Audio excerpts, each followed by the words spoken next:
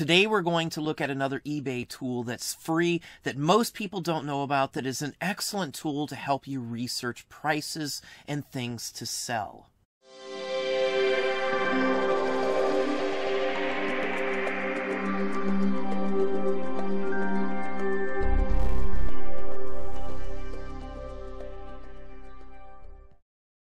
Hey, it's Don. Today we're going to look at a free eBay tool. This is through eBay. To get to this tool, though, you have to have the hub. So if you don't have the hub, this will not be available to you from what I can see. You got to have Terapeak in the research aspect of this. There's another part on there that most people don't look at, which is sourcing guidance on there. We're going to hop over there right now and we're going to look at this because there's a lot of good information that you can use from this. This can help you narrow down prices, things to buy, things to buy in the future, when to sell items as well. It's got a lot of features for many different categories. So we're in the hub now. They have added quite a few things. They have payments and other options that they have been adding onto. They have stated they're going to add some more things onto this as well. Let's hop over to the research tab and show you something most people don't have a clue on. It's going to give you a lot of good information. From here, let's go to sourcing guidance. You'll be surprised. Most people haven't even looked at this section at all. Now, I've been using this for many different categories. Many it doesn't have in here, so you really got to be kind of selective on what you can use from here. So we're just going to start with picking an item. Just you can pick it by the item or you can come down here and narrow it down to the category that it's in specifically as well too. Now I'm going to pick baseball cards and we're going to look at the breakdown here and it gives you a year's worth of information all at once. Now you can see it's got new or used. It automatically gives us used because that's mostly what you would sell or I sell I should say. Now, if you look over here, it's going to give you some key information, and I say this about almost every category. 5% of less of any category sells for good money. The rest of it's just in that, you know, random mix of who knows, couple bucks here, couple bucks there type of thing. Now, it's got a breakdown for all baseball cards on the entire platform for the last year that sold. And if you look here, only 1% sold for over $500. Now, this information isn't exactly correct, and I'll show you why that's the case in just a few minutes here. But these are for thousands, maybe tens of thousands, even hundreds of thousands of listings that have sold. So 1% may not sound like a whole bunch, but that could be hundreds or even thousands of listings they are talking about based on the volume of baseball cards that sold in the last 12 months. Now it gives you averages. It shows you where you're at today. It gives you seasonality so you can see how the trends go. Now we're up right now because of course the uh, pandemic and you can see it started in February. Normally that wouldn't be the case at all. So it's kind of skewed most of these. On a normal time frame, this wouldn't be skewed in this general direction. You can see they're projecting it to go down just before the holidays. Normally, it would be already down a little bit throughout the summer because most people are into sports usually are outside playing sports, or a lot of them, I should say. And then it goes up for the holidays. Now, you can look and track this on almost any category, main category, I should say. What it also gives you is breakdowns. You can go by year. It's going to give you some growth score. Now, obviously, the higher the number, the better the chances are that it would be a better area to invest in. We'll look at some more so you can kind of get the gist of it. You can come back here and find individual scores for years, for products, and all sorts of different things. But up here as well, you can just click the product button. They're going to tell you where the growth is in all of baseball cards. And if you look at the top list, it's boxes sealed boxes, unopened boxes, and that's almost always the case. So if you're not familiar with this, this gives you that same information that those of us who are into cards and buy them know that boxes are always the best investment. A sealed box of any kind of something at least investable in will be something good to actually buy. Next then goes packs. Now, cases is a little different because most people don't sell them in cases, you know, value wise. So cases will still be up on here, but mostly you want to be selling them as boxes. Cases, what I see, are ones that aren't worth as much selling them as a box. That's why they're still on the list like this. And then lots, obviously, a big lot of something, a set of something, a baseball coin, a team set. It gives you the whole breakdown. And as it goes down, it gives you the basic lowdown on it. So down to singles, they're 40%, very low. eTopps in hand 40%, very low. So you can judge on something like that. It also gives you the card manufacturers that are hot. So if you don't know which baseball cards are the hottest ones to invest your money in, this gives you a breakdown from the very last year. Bowman was the number one seller in baseball cards with a rising score of 62. Golden Press under Goudey, good company. Topps as well. Now, Sweet Caporal and some of these other ones don't exist anymore, but they're still hot sellers. That's the key on these. You want to know what's selling. This is going to give it to you.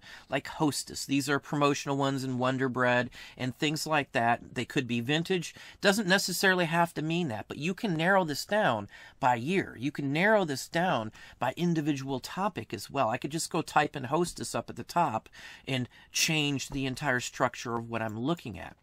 It breaks them down by category too. So 1970 till now basically is almost a dead category.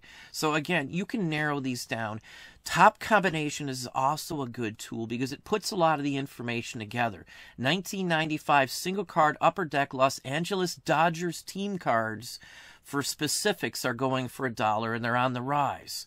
Now, that doesn't mean all the cards go for a dollar. That just means the average over maybe 10,000 cards is a dollar. So it might be an area that you'd want to look into 1995 Upper Deck to figure out what is going on in there. Why is this rating so high and have such a flying score on there? You might realize that a player is in that set, and then boom, you've got something to look for. Maybe nobody else knows that specific player. You're just finding it out there. That would be a good way to track down something that would be key for something like that. It goes down into more details. 2013 Colorado Rockies. Now, this is from the new one. This is high flying now, $15 a piece for any of those cards, basically, is average of 15 and Again, you could go down and sort out. You could type in on a search of completed or on Terapeak 2013 Colorado Rockies Topps and see what happens. You'll get uh, some information from this, but you may not have looked for that information had you not seen scores and ratings on here. So, in all honesty, this is actually pretty good information. In some aspects, a lot of this information you would have to pay for to get on other platforms and stuff. This is like one of those add in apps for other programs. So, in all honesty, this is fairly good, especially if it's something newer or you're selling NOS items or electronics or anything like that gives you averages, it gives you base structure on dates, model numbers you can track down. All of that stuff you can tweak in here and it'll categorize this all just towards the item you are looking for. So if there's one specific item you're looking for, it will give you a complete breakdown. Now let's just click and do a new one here. We're going to click a brand new one here. We're going to do Spider-Man comic book and number one, and we're going to search for that right now. This will give you an idea on averages.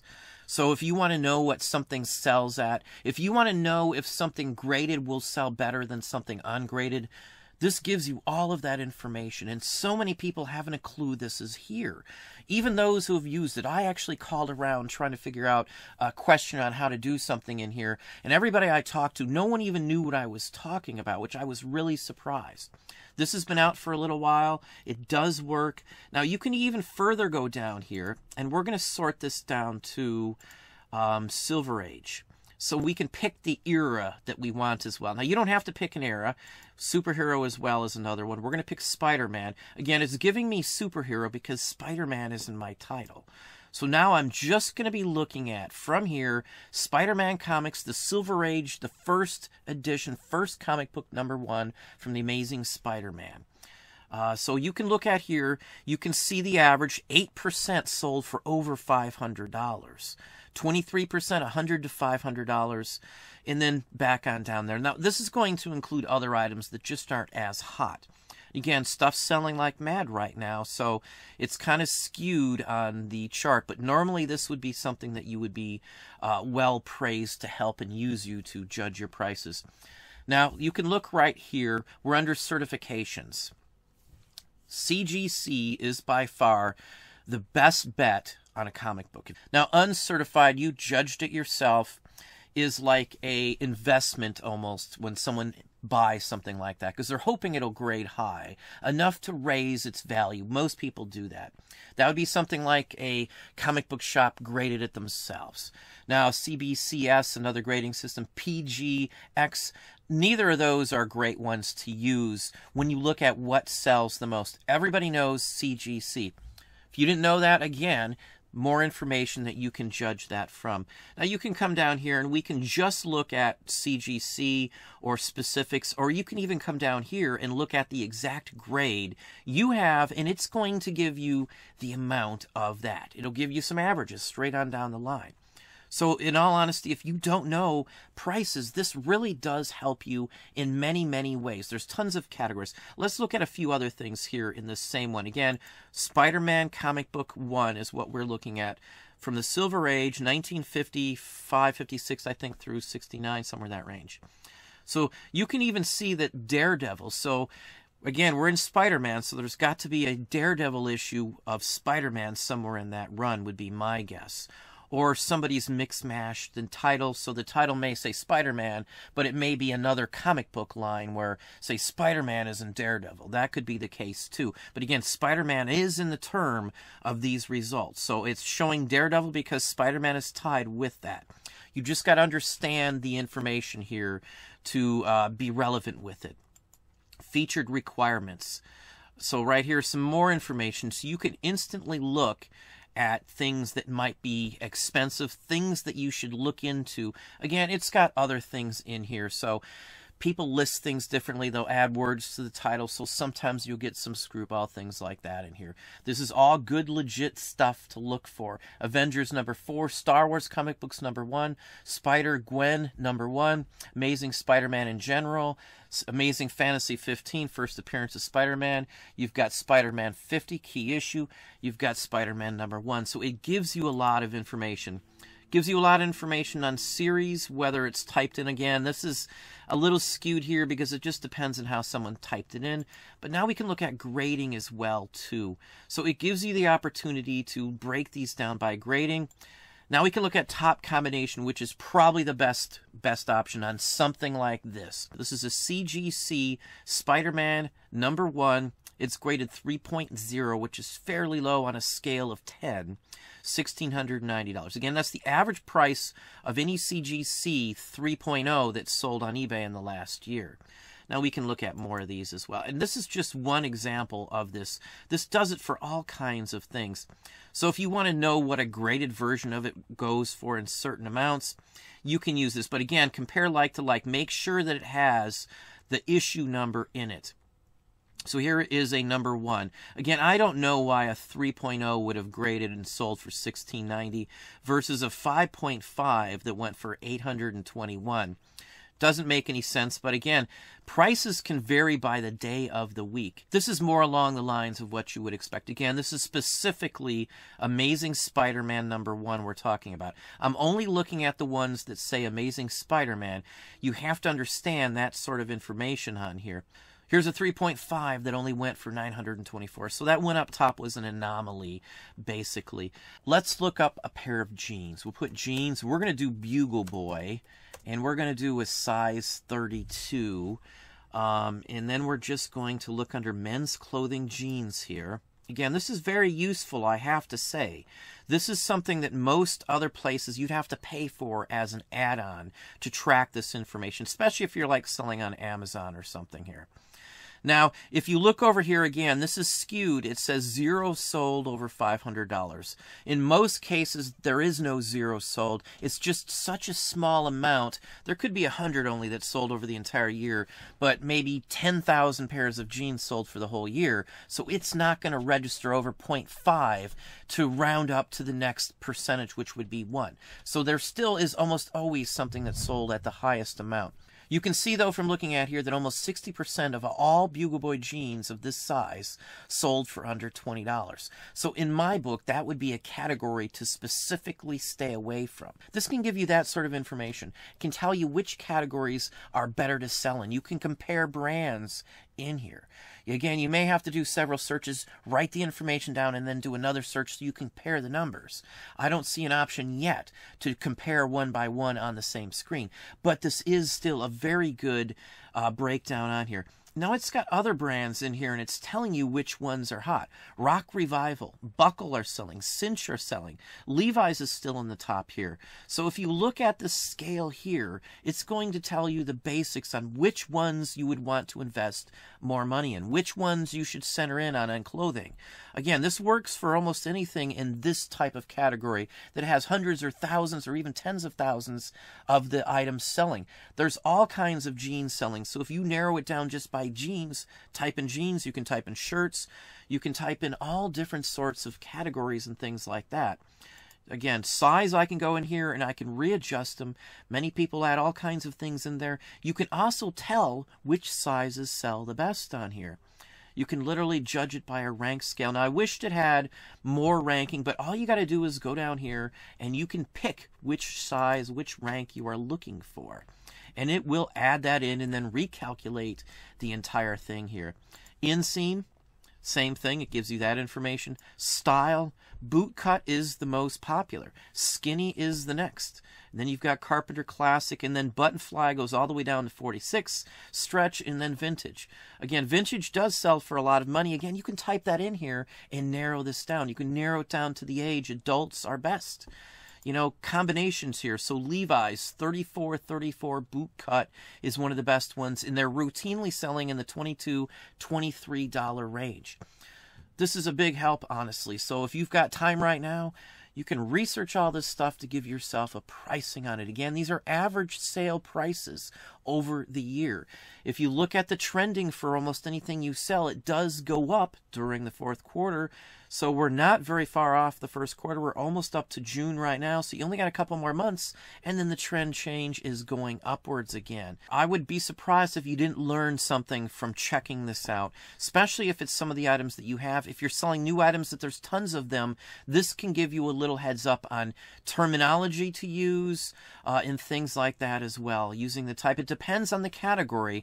All different types of information will be down here depending on the category. We've looked at several of them, but I will be shocked if you can't find some good, useful information out of here. A lot of people ask me, what's the good time to sell this? What's the good time to sell that? This gives you the information. What's the average price on something I get asked all the time? This gives you the information. What's going to be hot in a specific category?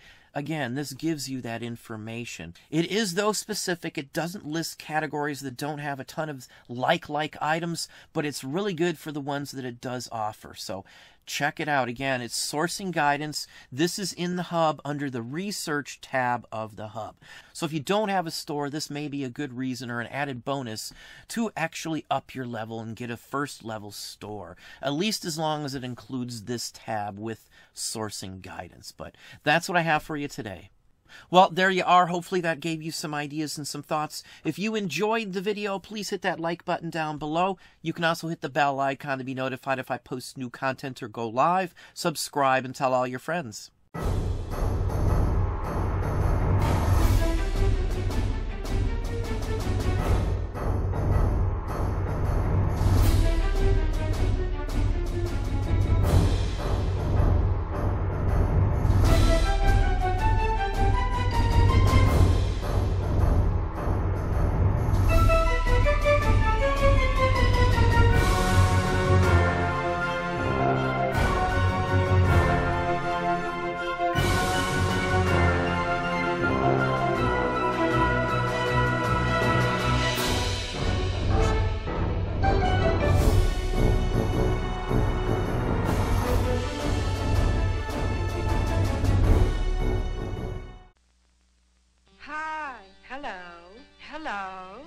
I tell you about this very extraordinary can?